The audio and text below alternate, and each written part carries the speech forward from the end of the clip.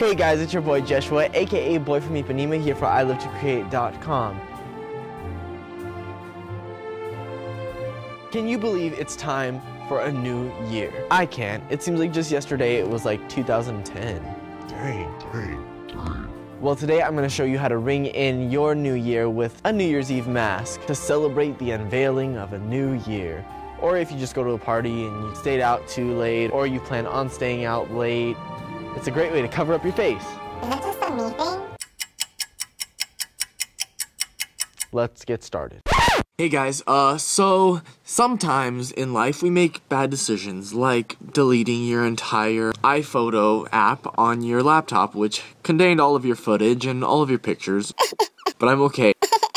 So I'm just gonna make this video old school and kind of uh, do it on my iPhone. So hope you guys keep watching. Here's what you're gonna need to make your New Year's Eve mask. This is the one I made originally. Turned out pretty dope, if I do say so myself. You can buy a mask form at your local craft store. They're already pre-done. They're just like a white base like that.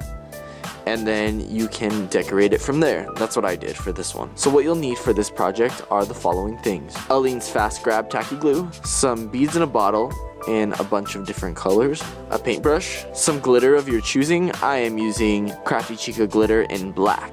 I really like the Crafty Chica glitter because it has flecks of gold and silver and green and red and it makes the black really interesting and it makes it pop. I'm gonna use some gold. This is what I'm going to decorate the edges of my feathers with. This is Tulip Fashion Glitter in gold. Okay, so for the purposes of this video, I made a really quick mask just out of some cardstock and I'm gonna decorate this one.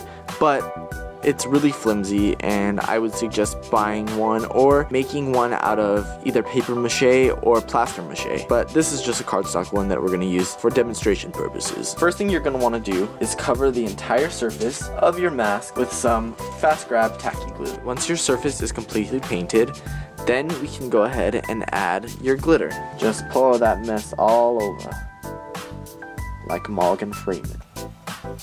Now that your mask is completely covered and dry, now we can add the embellishments. I'm gonna use the gold beads in a bottle.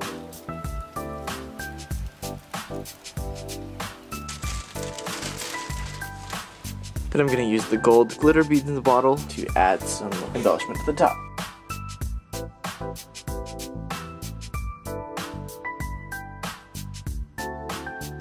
Now we're ready to embellish our feathers. First, before you put your feathers on, lay them out and take a paintbrush with a bit of tacky glue and just brush the ends, like so.